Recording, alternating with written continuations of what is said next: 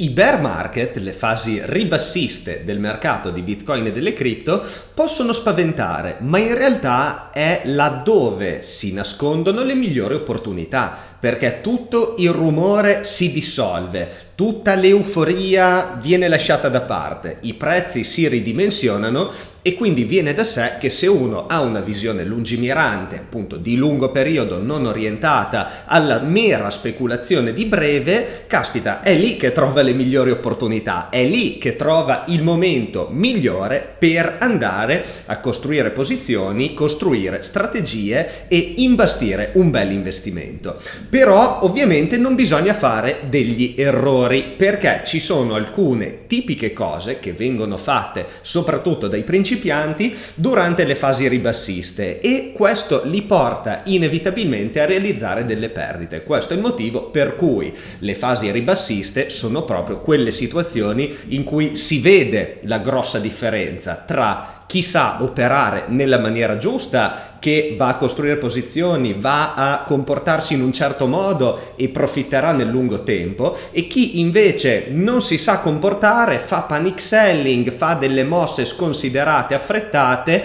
e poi perde soldi. Quindi oggi vediamo proprio in questo video le 5 cose che bisogna fare e non fare durante le fasi ribassiste. Buonasera amici cripto investitori e ben ritrovati a tutti quanti avanti. Iniziamo con una bella domandozza secca. Quanto siete spaventati dalla situazione attuale di Bitcoin? Rispondete sinceramente nei commenti e ditemi anche come vi state comportando e cosa avete intenzione di fare durante questa fase ribassista. Io nel frattempo vi dico le 5 cose da fare e non fare a mio parere. La prima è quella di andare a cercare i gambling, le shitcoin, quelle scommesse, quelle farm strane che danno migliaia di punti percentuali di APY, perché le fasi ribassiste sono proprio quelle fasi in cui si minimizza la probabilità di successo di un'operatività del genere. Se è vero che durante un bull market basta comprare qualcosa a caso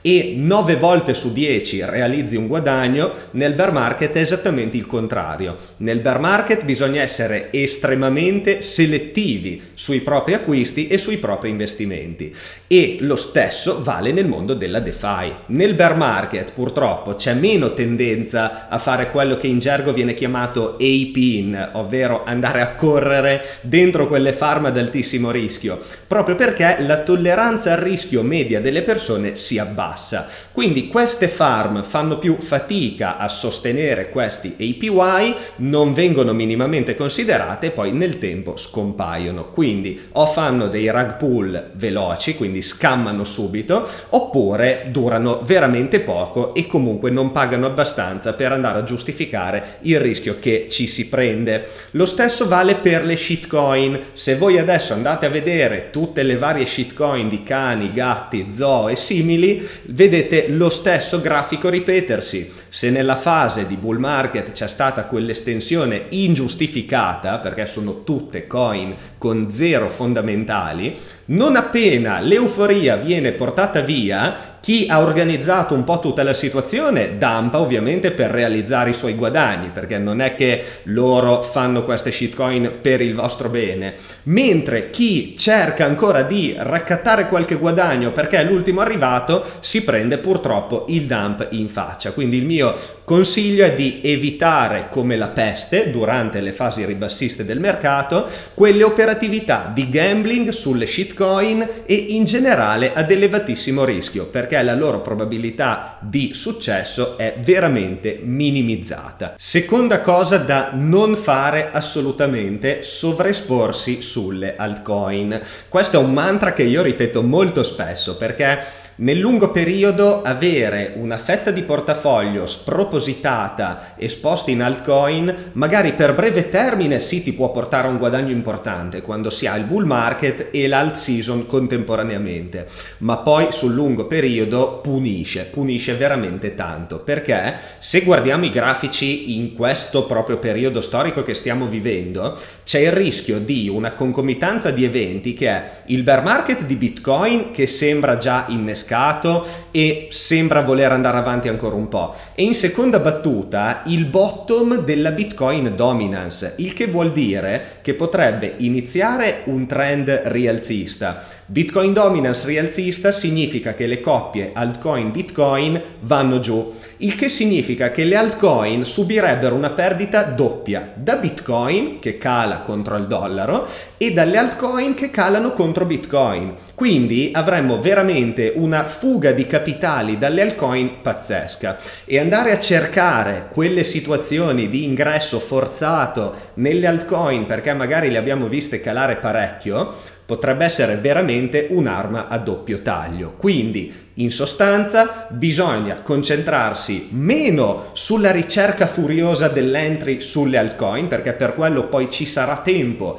quando lo scenario sarà più favorevole, sto parlando ovviamente di speculazione perché per l'investimento a lungo termine ci sono delle logiche leggermente diverse di cui parleremo tra poco, ma anche lì vale il discorso di non avere un portafoglio full alt, altrimenti veramente è una montagna russa totale. Se vedere un meno 90% sull'intero portafoglio non fa certo piacere e non è lungimirante da investitore. Mentre va bene, va meglio anzi, concentrarsi sulle coin principali, sulle coin sulle quali si vuole investire. Quindi Bitcoin, Ethereum, quelle ecco che noi vogliamo portare con noi nel lungo termine, che rispondono alla domanda ma quali coin hanno dei solidi fondamentali, sono affermate, hanno dimostrato e sicuramente sopravviveranno e cresceranno nel lungo periodo, quelle sono le coin sulle quali ci si deve concentrare, molto meno sulle altcoin che invece sono molto più soggette alla speculazione. Terza cosa da non fare assolutamente sono i buy the dip alla cieca, cioè vediamo una candela rossa e siamo tutti a urlare saldi, saldi, saldi, compra, compra tutto, compra bitcoin, compra ethereum, compra qualsiasi cosa. Perché? Perché un bear market, se diventa tale, potrebbe durare anche parecchio tempo e quindi se ogni volta che c'è una candela rossa, che c'è un dump, dobbiamo comprare, va a finire che non è proprio ottimizzata come strategia. Non è un piano d'accumulo perché non abbiamo la nostra frequenza predeterminata, andiamo Uh, non lo so, navighiamo a vista in base all'emotività e questo è assolutamente male. E inoltre andiamo continuamente a realizzare perdite su perdite, perché ogni buy the deep, se poi c'è un'altra deep più profonda, capite molto bene che non è cosa. Quindi anziché fare delle mosse così sprovvedute e date puramente dall'emotività, perché il buy the deep va bene ma nei bull market, cioè quando il trend è rialzista ci sta che se c'è una correzione abbastanza importante, soprattutto, allora andiamo ad approfittarne per prendere posizione, ma deve sussistere alla base l'ipotesi di uptrend, ipotesi che purtroppo al momento non sembra sussistere perché la struttura si è invertita, insomma ne abbiamo già parlato nel vedere l'analisi dei grafici. In queste situazioni semmai potrebbe aver più senso fare il contrario, ovvero se si ha delle posizioni su Bitcoin, proteggerle magari con qualche copertura, avevamo fatto un video dedicato tra l'altro proprio sul come proteggere il capitale durante i bear market market senza andare full short, che anche quello è un'operatività rischiosa dedicata a chi mastica molto bene il trading, ma ci sono appunto alcune operatività mirate alla difesa durante le fasi ribassiste che con relativa tranquillità permettono di affrontare la situazione riducendo le perdite. Ve l'ho detto, ve ne ho parlato in un altro video, ve lo lascio magari qua linkato. Il danno diventa catastrofe se il buy the dip lo si va a fare addirittura sulle altcoin altcoin, perché le altcoin in un giorno sono capaci di farti anche un meno 20, meno 25% e anche se fanno un dip, magari il giorno dopo, due giorni dopo, sono capaci di farne un altro. Quindi veramente lì rasenteremmo il gambling. Quarta cosa a cui fare attenzione, stavolta riguarda rendite passive e farming. Le rendite passive diventano una delle fonti di guadagno più interessanti durante le fasi ribassiste, proprio perché alcune di esse non espongono alla volatilità di alcune coin, di bitcoin, delle altcoin e quant'altro. Quindi sto parlando ovviamente delle rendite su stablecoin. Che siano CeFi o DeFi, in entrambi i casi bisogna ricordarsi che siamo in una situazione di rischio particolare perché se la piattaforma CeFi che stiamo utilizzando è una di quelle poco raccomandabili, tra virgolette, allora in queste situazioni di bear market è proprio lì che c'è il maggior rischio che diventi insolvente ed è proprio per quello che è sempre importante selezionarle con cura. Abbiamo fatto parecchi video dedicati proprio a questo. Nella DeFi vale la stessa cosa, perché se da un lato utilizzando le DeFi sicure, quindi quelle più blasonate, con i maggiori volumi, curva, ave, compound, eccetera, non corriamo rischi di andare a perdere capitale, Tuttavia, magari il rendimento è estremamente basso perché gli APY tendenzialmente nelle fasi di bear market vanno ad abbassarsi, in particolare se sono pagati nei token eh, in questione, della piattaforma in questione. Se il rendimento è pagato in Matic o in token Aave o in altri token e quei token sono in pieno bear market, gli APY stessi tenderanno al ribasso. Quindi bisogna andare a fare anche lì un bilanciamento tra i rischi e i rendimenti. Quindi per concludere, per quanto riguarda farming, rendite passive e simili, orientarsi laddove il rischio è contenuto e la volatilità è contenuta. Quindi CeFi e DeFi blasonate, pool di stablecoin oppure anche volendo quei pool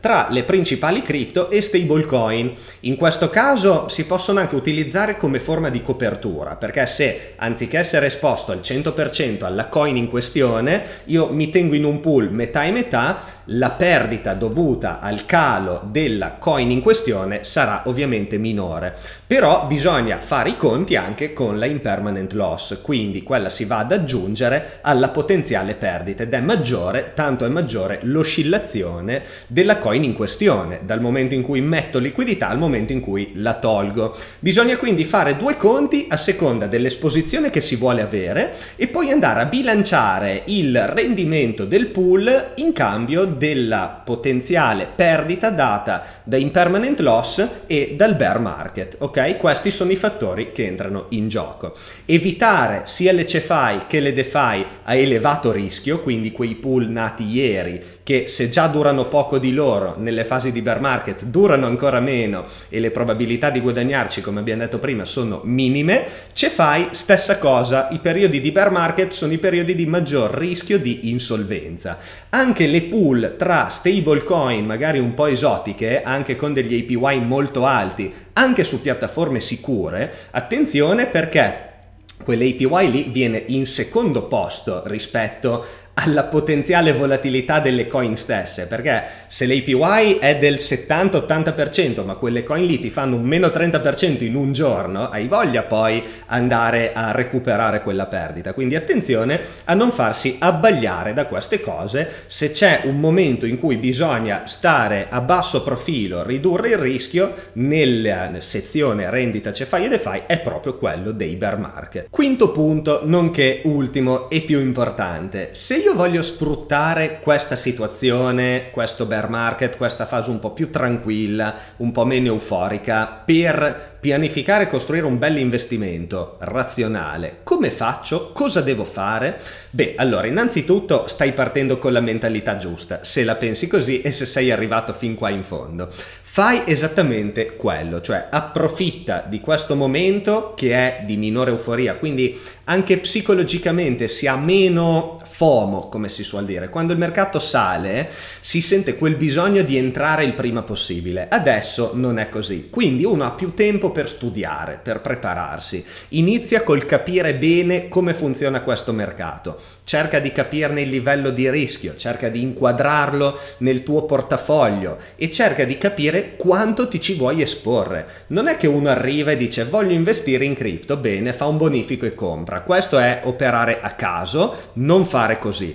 Quello che devi fare è ragionare facendoti tante domande. Quindi, che portafoglio voglio avere? Quanto voglio espormi in cripto? Quanto tollero la volatilità? Sono disposto a vedere certe fluttuazioni nel mio portafoglio, consapevole che sto investendo nel lungo termine, eccetera, eccetera, eccetera? Se la risposta è sì, ci sono tante metodologie che abbiamo già affrontato in maniera concreta in altri video, passo dopo passo, come i classici piani d'accumulo, le varianti dei piani d'accumulo. L'importante importante è che non è che vedo il bear market e scappo in preda al panico dicendo oh mio dio cosa succede, è finito tutto. No, anzi, io sono più contento paradossalmente perché continuo la mia strategia, non deve cambiare, cioè devo avere una strategia che prevede le fasi di bear market, fanno parte del gioco, non è che facciamo per 10 e poi rimaniamo lì, cioè il bear market fa parte del gioco, se vogliamo goderci i per 10 dobbiamo anche saper sopportare i meno 60%, è fatto così, Bitcoin è fatto così, è, è la sua natura.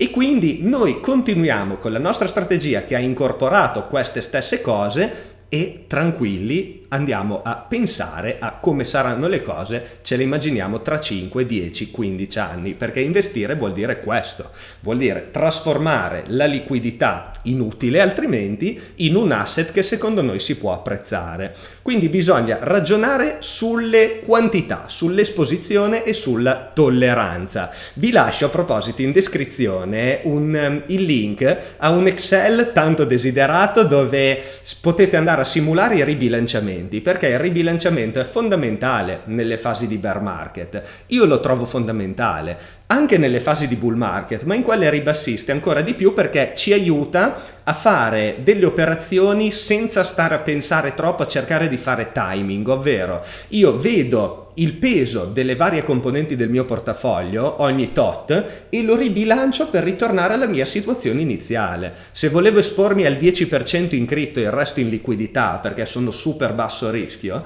lo continuo a fare e così mentre il prezzo scende io mi espongo in cripto e viceversa farò take profit quando il prezzo sale, è un po' un'ottimizzazione. E nel file che vi lascio eh, è un Google Sheet, quindi potete andare a inserire un paio di dati per provarlo e vi fa la simulazione di ribilanciamento, è molto semplice da usare. Me l'avevate chiesto, spero che vi basti e vi interessi. Quindi questo è un po' quanto. Inoltre dal punto di vista del farming, delle rendite passive, si può utilizzare anche queste ultime per andare a portarle nel comparto investimenti, cioè se durante la fase ribassista noi ci concentriamo sulla liquidità, perché anche quella si può far rendere nelle cripto, come ben sappiamo, abbiamo detto DeFi e CeFi, quest'ultima cresce, quella parte che cresce poi di volta in volta, sempre col nostro ribilanciamento, la portiamo di là e la rendiamo un investimento. Quindi il potenziale della rendita sulle stable coin, che viene ovviamente data in stable coin, durante i bear market, se noi prendiamo la rendita e poi in parte la investiamo di là, capite che aumenta ancora di più perché se poi parte un'altra fase rialzista ci frutterà molto più di quel 10-12% che le piattaforme di CeFi stesse ci possono dare. Questi sono tutti concetti che spero vi siano utili per rifletterci sopra e spostare il focus, ripeto, dal guadagno al, sul breve, dal breve termine, dalla speculazione a un qualcosa di più ampio respiro perché se si riesce a essere tranquilli in queste fasi ribassiste, non aver paura di realizzare una perdita perché tanto la visione è sul lungo periodo, secondo me lì è la svolta ed è lì che fa la differenza tra l'ultimo arrivato che compra quando tutto pompa e si impanica quando tutto scende rispetto all'investitore con la I maiuscola che ha pieno controllo del suo portafoglio. Con questo vi faccio un caro saluto e alla prossima!